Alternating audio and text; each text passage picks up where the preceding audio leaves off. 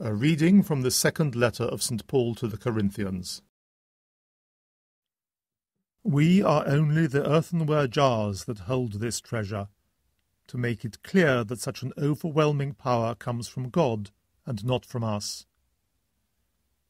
We are in difficulties on all sides, but never cornered. We see no answer to our problems, but never despair. We have been persecuted, but never deserted, knocked down, but never killed. Always, wherever we may be, we carry with us in our body the death of Jesus, so that the life of Jesus too may always be seen in our body. Indeed, while we are still alive, we are consigned to our death every day for the sake of Jesus, so that in our mortal flesh the life of Jesus too may be openly shown.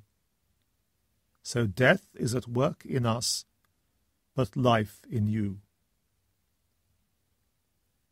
But as we have the same spirit of faith that is mentioned in Scripture, I believed and therefore I spoke, we too believe, and therefore we too speak, knowing that he who raised the Lord Jesus to life will raise us with Jesus in our turn, and put us by his side, and you with us.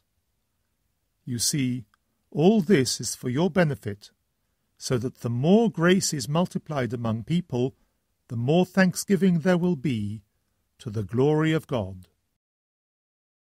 The Word of the Lord.